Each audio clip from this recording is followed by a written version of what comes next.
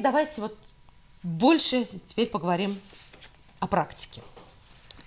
То есть это все было практично. А вот теперь, помните, что мы вам все время обещали, что мы будем говорить о том, как же вот поймать момент срыва, как определить вообще, где в данном случае находится человек. Итак, начнем со шкалы срыва. Наверное, начнем с понятия выздоровления. Да? То есть выздоровление, как мы с вами говорили, выздоравливающие люди... То есть к чему это... мы стремимся? К чему мы стремимся? Это какие люди выздоравливающие? Ну, исходя из предыдущего вот нашего э, слайда, из предыдущей э, темы, да, человек должен быть каким? Выздоравливающим. Во-первых, открытым. Открытым. Это обязательно. То есть, есть, как только человек, у человека появляются секреты, о которых он не может рассказать хотя бы одному даже человеку, считайте все, он уже встал на... Вот для меня это было таким большим открытием. Оказывается, любая тайна, любой секрет, который ты не можешь рассказать своему близкому человеку, Никому. это твой первый шаг к употреблению, к срыву. Итак, Представляете? Значит, то есть выздоравливающий человек... Любая тайна ведет тебя к срыву. Угу. Итак, выздоравливающий человек, возвращаясь к первому слайду, значит, должен быть открытым. Во-вторых, должен быть каким? Коммуникабельным. Коммуникабельным. Что мы там еще с вами писали? В-третьих, должен быть каким? Подотчетным. Да? Да. Обязательно должен быть тот, кому, кто, кому действительно он подотчетен, и кто может ему править мозги. И он быть, быть к этому может быть готов. Четвертое, Выполняет свои обязательства В обществе. в обществе, в обществе, в группе. Верные да? людям. и верные люди. Верен людям. Вот И если- растет в своих отношениях с самим собой, И с Богом. с окружающими людьми и с, И с Бог- и с Богом. Господом. Вот, мы никогда с вами не достигнем идеала, мы же с вами говорили. Но на пути выздоровления мы можем стать. Можем идти по этому пути. И вот давайте теперь посмотрим, с чего начинается срыв. Вот первый шаг. И сейчас нам бы хотелось, знаете, чтобы мы с вами вот что сделали. Так, а, поделите свой листочек на три части. На две.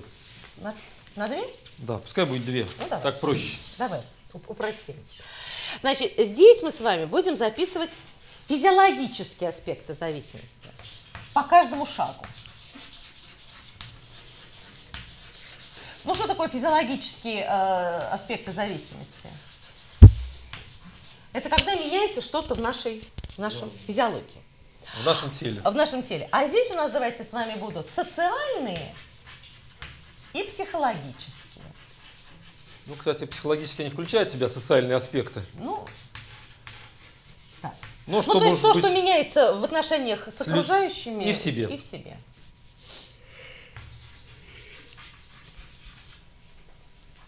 Ну, еще даже включим и духовный. То есть тут у нас отношения, а тут у нас чистая физиология. Может, так и Хорошо? написать отношения? Давай.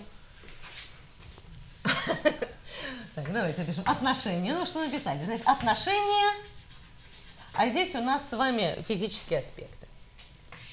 Так, вот такая будет таблица. И, значит, здесь у нас с вами начинается И сейчас мы каждый шаг. который мы предпринимаем к тому, чтобы сорваться, уже конкретно рассмотрим, э, вот разбирая их по физиологическим э, данным или по нашим взаимоотношениям с самим собой, с окружающими людьми и с Богом. Итак, значит, первый шаг или первая стадия мы с вами как назвали?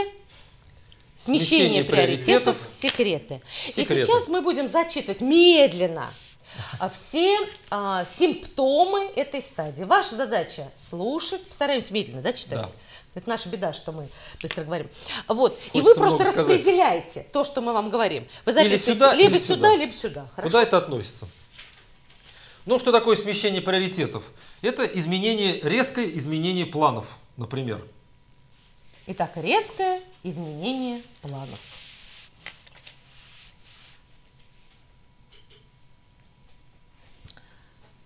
Следующий симптом. Секреты.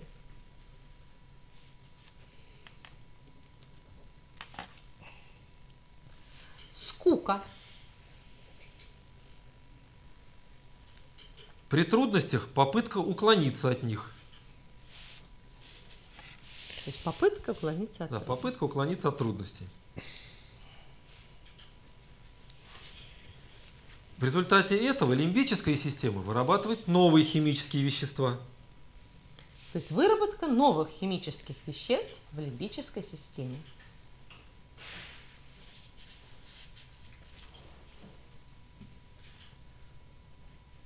Эти вещества ускоряют работу организма, всех его органов, ну и вообще всего есть- тела в целом. То есть работа организма ускоряется. То есть. Ускоряются эмоции. эмоции.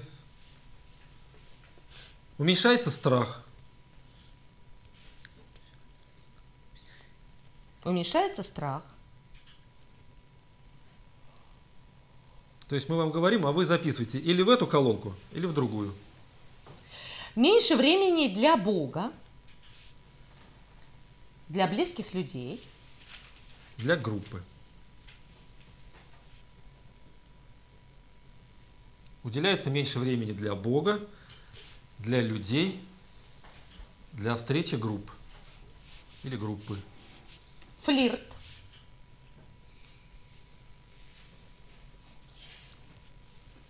Сарказм.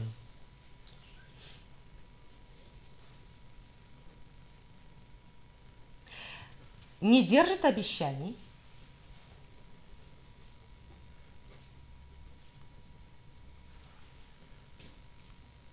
Человек поглощен другими делами, телевидением, развлечениями. то есть поглощен телевидением, развлечениями.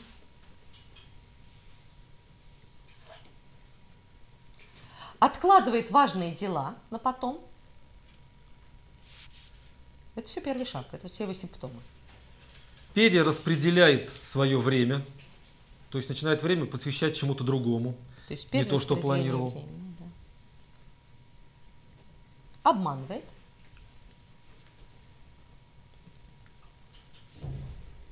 Начинают прятать деньги. Появляются заначки. Прячет деньги. То есть прячет деньги, появляются заначки. Ну, так называемые.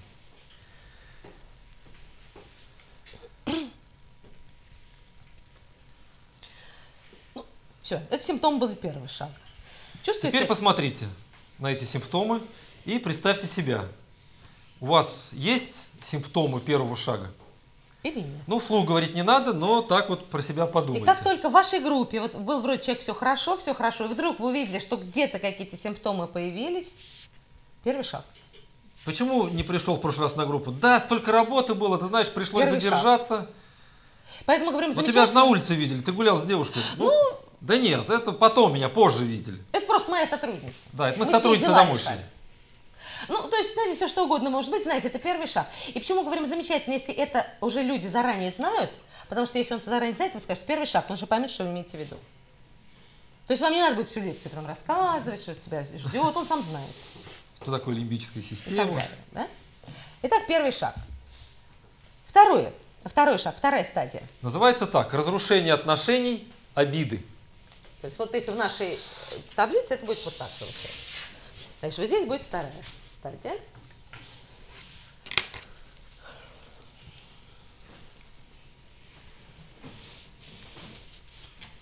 Разрушение отношений, обиды. Ну, а теперь ее опять расшифруем, да, эту стадию. Очень сильные эмоции. Накал.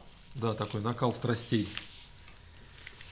Из-за того, что очень сильные эмоции, они высвобождают очень много нейрохимических веществ. То есть высвобождение большого количества нейрохимических веществ. Вот из, в результате действия этих эмоций. Высвобождение нейрохимических веществ. Энергию тело теперь получает не от калорий, которые он кушает, а вот от этих вот эмоций человек. То есть энергию и удовольствие получает уже не от Калорий, калорий, а а от эмоций. избытка эмоций.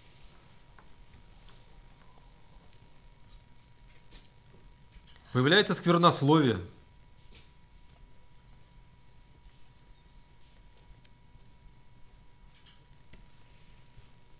Проигрываются в мыслях старые пластинки.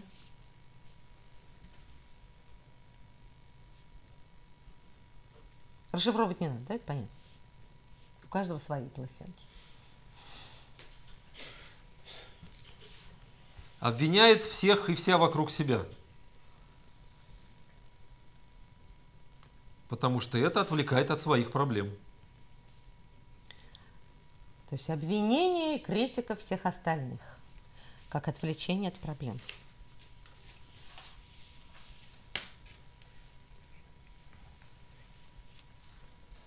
Человек уходит в иллюзии, мысли о будущем. Что было бы, Если, бы. Вот тут вот, что было бы, если бы, это второй шаг. Вот если бы я тогда, то тогда бы у меня вот через год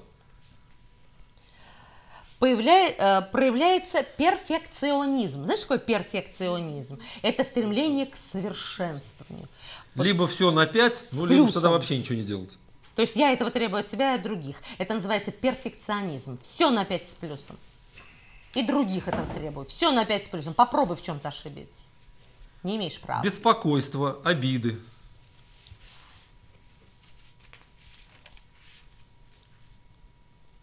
Непрощение. Человек начинает судить других. Читать чужие мысли. Ну, сначала, да, сначала читает, потом судит. То есть, как А будто скажите, он кто знает... из нас может прочитать мысли чужие? Вряд ли кто. Но этот человек полностью уверен. Я знаю, о чем ты думаешь. Откуда ты можешь? Он знает. Я вижу тебя насквозь. Да. Да. Вот это все. Читает чужие мысли. Да. Понятно, что не обязательно все симптомы видны, но если какие-то есть, и вы видите их конкретные проявления, это по всей Появляются проблемы со сном у человека. Проблемы со сном. Смотрите, куда вы это пишете. Проблемы со сном. Порнография. Такие легкая эротика называется. Мастурбация.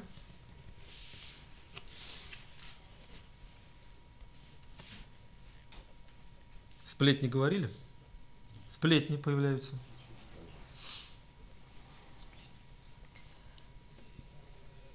Человек начинает употреблять таблетки от головной боли, снотворное. Контроль над весом.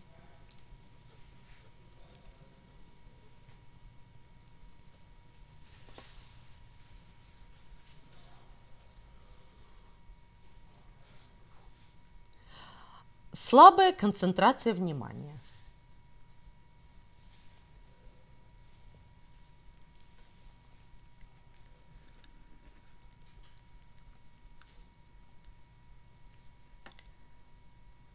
Второй шаг. Вот это вторая стадия. Обратите внимание, помните, мы с вами сказали, что не каждый алкоголик э, пьет, и не каждый пьющий Алкоголик. алкоголик. То есть на этой стадии человек вполне возможно и не пьет. Здесь Но он, он уже, трезвый пьяница.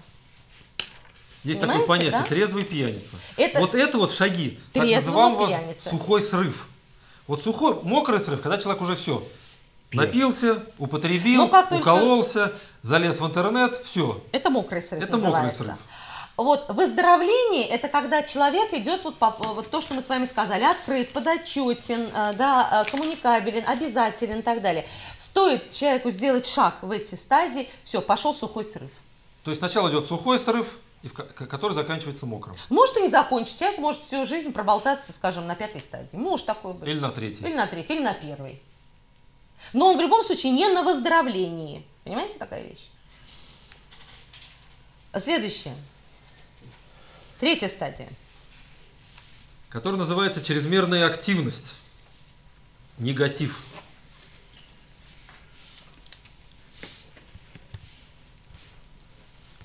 Здесь начинается чрезмерная активность, негатив. Да, давайте запишем.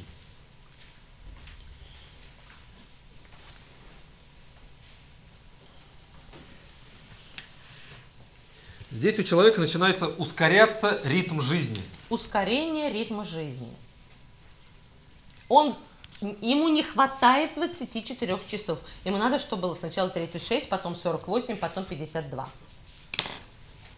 У него слишком много работы появляется. Некогда даже перерыв сделать. Работоголик, трудоголик. Это Он состояние работает- третьей стадии. Такой человек работает без обедов, но наедается очень хорошо вечером. Сильно так, за весь день. Ведь давайте подумаем, для того, чтобы пообедать, нужно остановиться и что-то приготовить себе, правда? А остановиться, это значит задуматься о том, что происходит с тобой. А тут некогда, все. Ты так ускоряешься, что эти проблемы в сторону, быстрее. надо- Поэтому пишем, не может расслабиться. Он не может расслабиться даже для того, чтобы вот, понимаете, просто сесть и спокойно покушать. Все на еду, бутерброды, чай, быстренько что-то хватанул, бежал, некогда, некогда, дела, дела. Работает без обедов и чрезмерная еда на ночь. А, Значит, высокое употребление сахара, кофеина.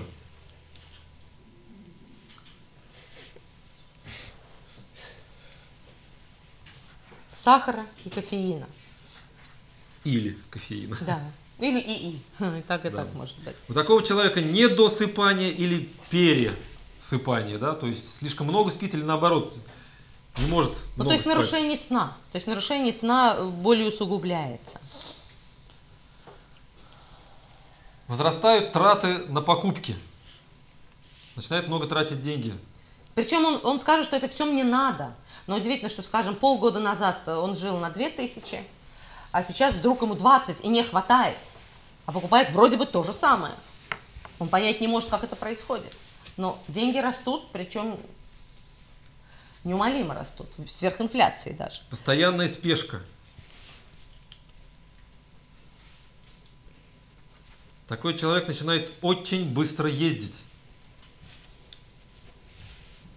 На машине, в смысле, да? Быстрая езда. Не может определить свои потребности. Вот скажешь, что тебе надо? Я не знаю, что мне надо. Не может определить потребности. Вот что тебе самое главное сейчас надо? Он либо вам много чего назовет, либо вообще ничего не назовет.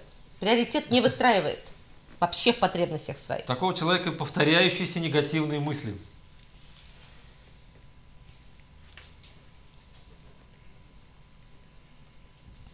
Все не то, не то делают, как-то не так делают. Раздражительность.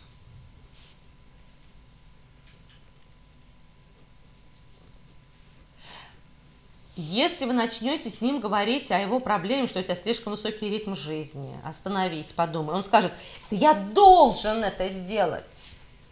Вот это вот оправдание, я должен. Этот человек вдруг считает, что он всем все должен. Без него все рассыпется, мир рухнет вообще.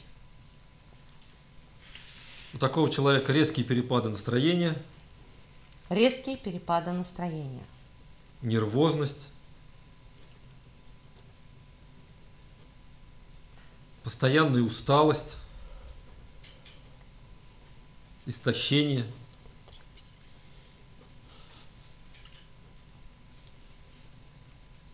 Еще раз, нервозность, постоянная усталость, истощение. Резко человек может начать заниматься физическими упражнениями. И до чрезмерности доходит. Спорт это хорошо.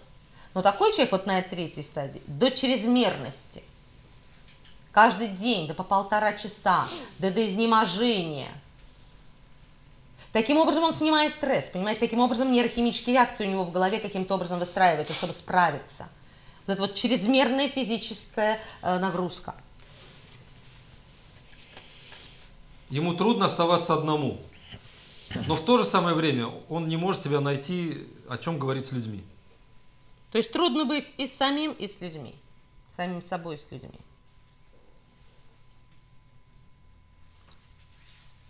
Ну и последний, наверное, симптом, да, их много, конечно, мы такие самые только высветили.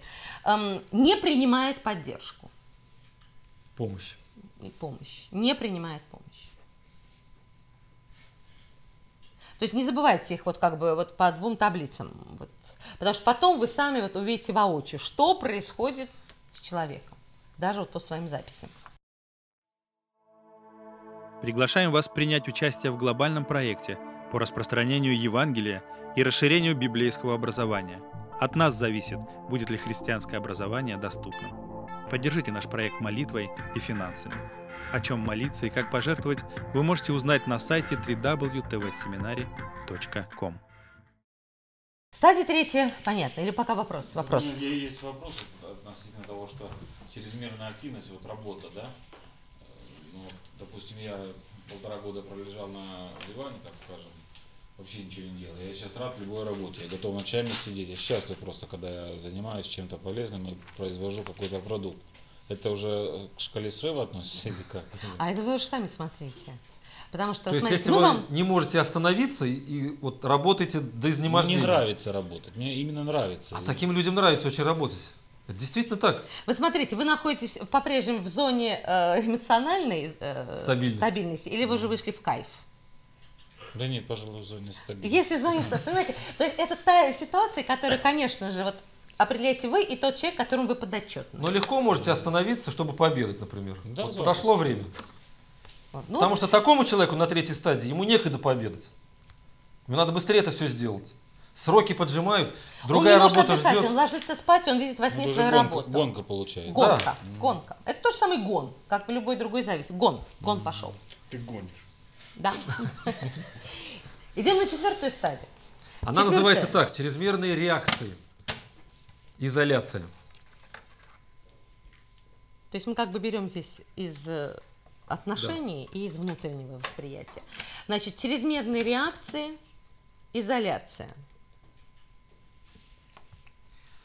Гнев увеличивает содержание адреналина в крови. Гнев увеличивает адреналин. Возрастает, Торопимся. вот тут уже ускорение происходит, да? Возрастает уровень эндорфина, норэпинефрина.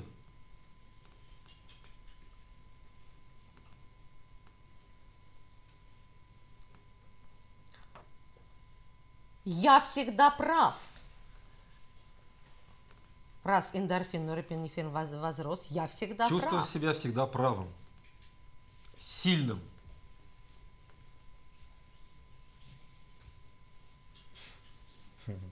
Уверен.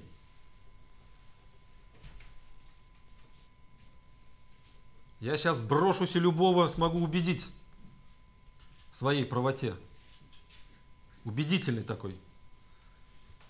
Человек не ощущает боли. Когда у человека очень высокий уровень адреналина, эндоморфина в крови, он может кулаком стукнуть в стену и даже боль не почувствовать. Руку сломает, и он боли чувствовать не будет. Какое-то время. Какое-то время, конечно, пока этот уровень не снизится. Потому что это прекраснейший анальгетик. Знаете ли вы, что вспышка гнева В 20 раз сильнее дозы героина. То есть нейрохимических э, вот этих э, веществ Выбрасывается в в кровь. 20 раз больше. Поэтому Мозг помните, когда, вырабатывает в вот- 20 раз больше, чем просто одна доза героина. когда вспышка были гнева. вот эти кулачные бои на Руси, вы знаете, вот особенно показали это в Сибирском цирюльнике, когда, знаете, сотни мужчин, Стояли друг напротив друга, и прежде чем начать драться, что они делали? Они Подогревали. Они подогревали себя, они подогревали вот этот уровень гнева, уровень злости друг на друга. Потом, И там в гневе уже все что угодно можно было. Крушить челюсти, тебе знаете, я все время крушат. думаю, ну ведь это, это определенный вид спорта какой-то, что ли, был на Руси. Это же больно. Но нет, когда человек в гневе, он этого не чувствует. Там это восторг, это адреналин, ты чувствуешь себя сильным. Это, понимаете, это Никакого своеобразная страха нет, наркотизация. всё. Это наркотизация гневом. И вот здесь, на четвертом шаге, все, вот он срыв пошел. Человек не употребляет наркотики, не употребляет э, алкоголь, никаких э, психоактивных веществ. А у него там это те же самые реакции идут в мозгу. Здесь гнев заглушает не только эмоциональную, но и физическую боль. Гнев заглушает и эмоциональную, и физическую боль. Углубляется сарказм. Такого человека черно-белое мышление.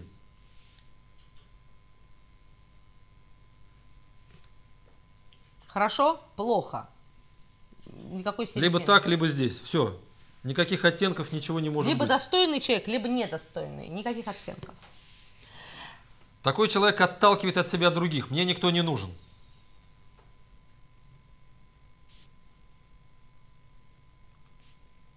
Изолирует себя. И в то же время переживает чувство одиночества.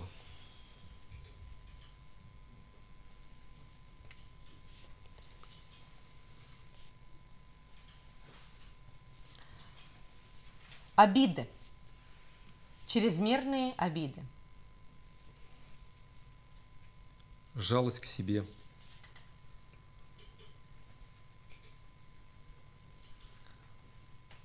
Нерационально спорит. Нелогично мыслит. Не выносит никакой критики.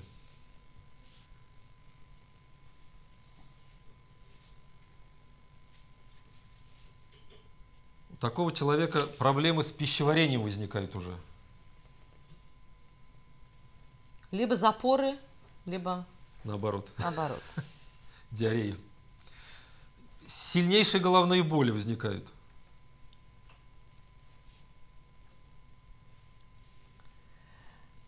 Возникают навязчивые мысли, от которых он не может избавиться. Вплоть до мании. Там, мании величия, мании преследования Фобии. Вот здесь они максимально э, э, вот, проявляются. проявляются именно здесь, на этой стадии. Такой человек агрессивен.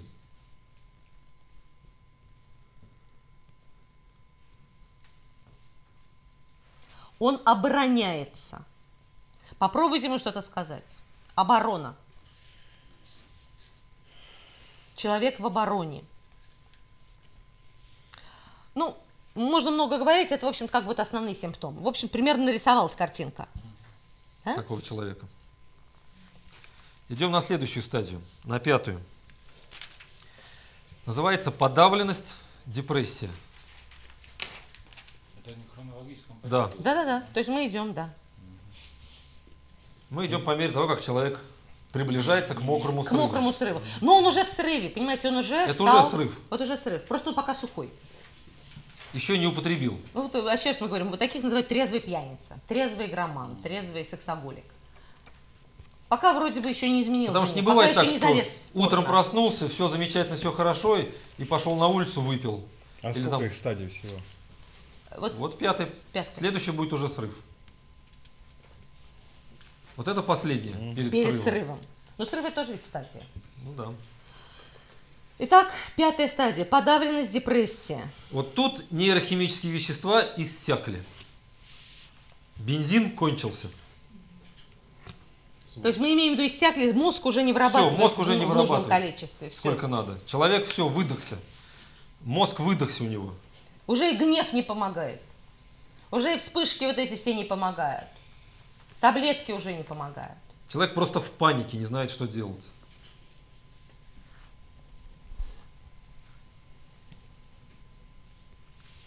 Попытки избежать вообще любых ситуаций, не только таких вот рискованных или каких-то неопределенностей, а вообще любых ситуаций, которые заставляют напрягаться, думать. То есть попытки избегать напряжения, Да. любых ситуаций напряжения.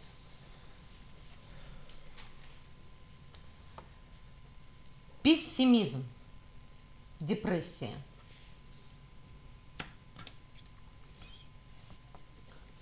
Беспомощность. Может плакать без причины. Плач без причины, может быть. Почему плачешь? Не знаю, мне плохо, он вам скажет. Вот это то состояние беспомощности, понимаете? Опять, это не значит, что любой человек плачущий, все, перед срывом. Нет, конечно. Конечно, нет. Но такой человек не Но знает, в данном случае это плохо. вот именно вот от беспомощности, от бессилия, от того, что все уже, все, физиология вся уже, все на пределе. Вот Часть человек. мозга, которая отвечает за выживание, включает тягу к зависимости. Все. Потому что нужно выжить в этой ситуации. То есть включается тяга. Вот здесь подключается конкретная тяга.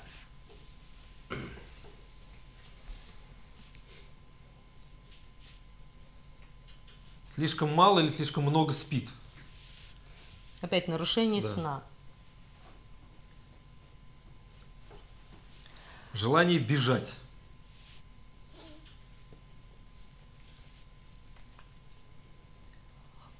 Поиск старых друзей. Ну, тех, которые были с тобой в употреблении, например. То есть поиск друзей по употреблению. Которые помогали решать проблемы легко. То есть зависимо. Да, да, Да. да, да. Это именно старых знакомых, не просто любых зависимых. Мысли о самоубийстве могут возникать здесь.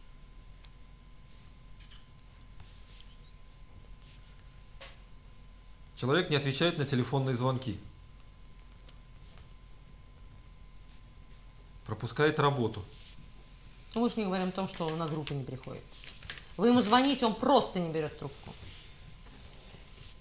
Такой человек просто лежит и тупо смотрит телевизор.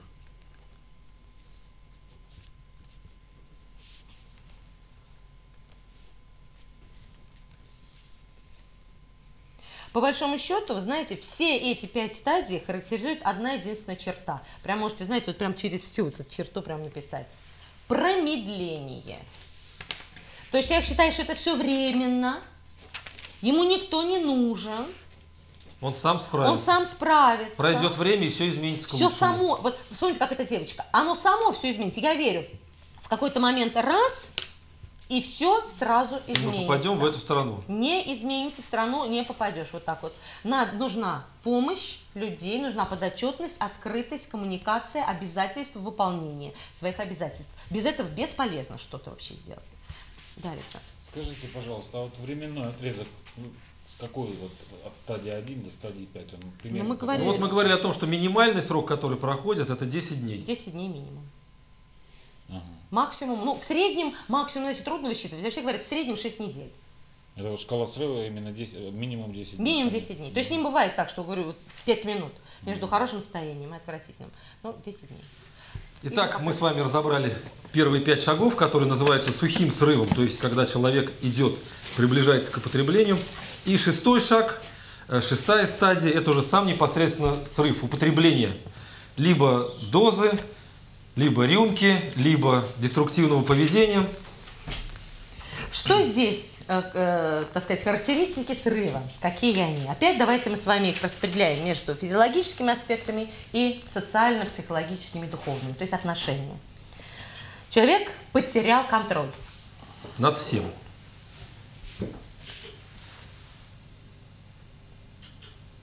Сдается, он сдается. Он ничего уже сделать не может.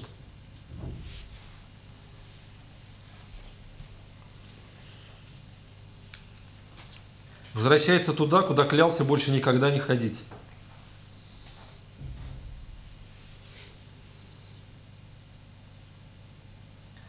Лимбическая система блокирует лобные доли мозга. Сознание. То есть сознание блокировано. Лимбическая система блокирует сознание.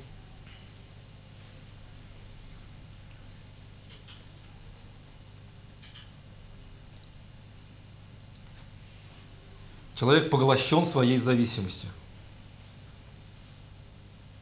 Вот этими всеми веществами, которые можно употребить, поведением, которое приносит облегчение, хоть и временное. Ощущение, что без употребления он в жизни уже не справится сам. Без употребления я ничто.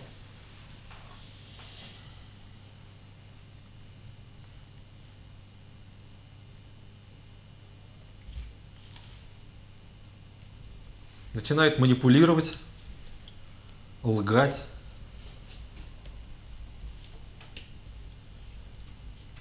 Стыд, вина. Один.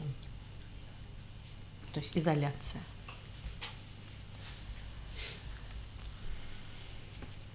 Такой мозг говорит, все, не справляюсь с ситуацией, отключается. И вот те, кто употреблял, вс- вспомните, вот вроде обещаете, обещаете держаться, держитесь, держитесь, потом в какой-то момент Вот это Что все происходит? нарастает, ты поднимаешь руку и говоришь, Говоришь, а «А!» гори оно все. да, Чем? Синим пламенем. синим пламенем А где у нас синее пламя всегда горит? В аду. В аду. Человек-то там и оказывается. Понимаете, Почему говорят, гори они все синим? Потому что человек попадает в ад. Потому что зависимость это действительно вот тот самый отголосок страшных ощущений. Понимаете, то есть настолько уже все заблокировано, что человеку все равно. Где он? В аду или где-то еще? Пусть хоть там, лишь бы вот сбежать от проблемы. Вы знаете, нам очень понравилось, как вот преподаватель, который вот рассказывал нам про эти шаги, он сказал, знаете, меня больше всего вот очень волнуют хри- э, христиане, момент, которые что- говорят, вот я, как только пришел к Богу, никогда больше не срываюсь. Вот никогда не срываюсь. И когда я слышу, когда так говорят, я все время говорю правильно, потому что ты еще и не выздоравливал. Ты до сих Потому пор что- на третьем или четвертом шаге срыва. Потому что, понимаете, Ведь чело- осуждение. Это какой, какой шаг? шаг? Посмотрите, осуждение, критика, критиканство. Третий. Третий. Все, вот он третий шаг. Ты просто сухой пьяница. Ты еще даже на путь выздоровления не встал. То есть, как бы вот эти вещи нужно постоянно говорить. Когда человек так говорит, он практически говорит о том, что я святой. Но нет безгрешных, нет праведного, ни одного. Нам нужно постоянно э, вставать на путь выздоровления, ежедневно, помогая в этом друг другу, выстраивая отношения с самим собой, с окружающими людьми и с Богом. Тем более люди, которые были в зависимости, они тем более нуждаются в постоянном вот таком вот подотчетности, открытости, а, чтобы рядом были люди, которые помогали выстраивать отношения. Э, Понимаете, э, это так. То есть вот эти вещи нужно четко для себя понимать.